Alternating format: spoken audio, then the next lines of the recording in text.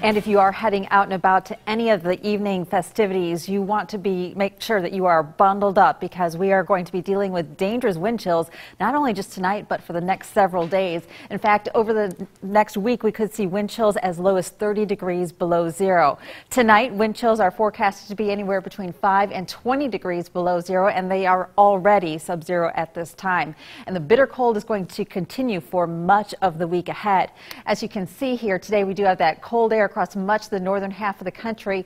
By Tuesday, though, it starts to shift its way eastward and then retreat back up into Canada briefly for one day. And then another shot of cold air is going to push its way through for the end of the week. So overall, this week, temperatures running well below the average for this time of the year. And as we ring in the new year tonight, if you're going to be outside there in Carlisle, look at this. The temperature at midnight about one degree below zero. Wind chills will be well below zero. Tomorrow we are looking at high temperatures only in the single digits above zero. So as we take a look here back to, at New Year's Day um, statistics, you can see here the coldest high temperature was six degrees set back in 1928. We're going to be pretty close to that number. And the coldest low was eight degrees below zero set back in 1968. And we're going to be pretty close to that record as well. So tomorrow might go down in the record books for us. And the average snow depth is about an inch of snow on the ground, which we already have.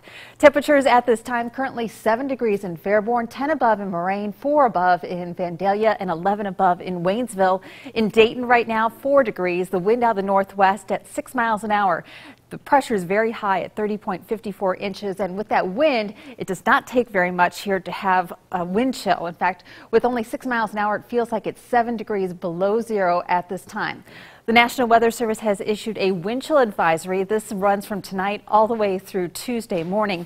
Like I said, those wind chill values could potentially be as cold as 30 degrees below zero at times. Tonight, though, generally in the teens to about 20 degrees below zero. This is a look here over the next 12 hours. And here's some safety tips for the extreme cold. You want to make sure that you dress in layers. Be aware that frostbite can occur within 30 minutes or less. You want to make sure, make sure you wear a hat, mittens, and after coming in from the cold, you want to try to drink a warm drink and be aware that hypothermia occurs as the body temperature if it is lowered too much. Also, if you have pets that do go outside for an extended period of time, you want to make sure that you bring them in overnight. Over the next several hours, temperatures continuing to drop to around zero. Satellite shows that we do have some breaks out there, but some clouds moving in right now, so those clouds help, will help blanket us for a little bit longer, but clear skies to the west of us. As we get breaks in the clouds overnight, the temperature is just going to continue to drop. So overnight tonight, temperatures dropping to about 4 degrees below zero. Even colder tomorrow night, 7 degrees below zero. That could potentially uh, tie or break a record tomorrow night.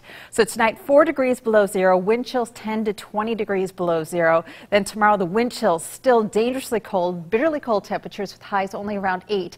Here's a look at that extended 4 forecast as we go through the week. You'll see highs generally will be in the teens and overnight lows will be in the single digits to the single digits below zero.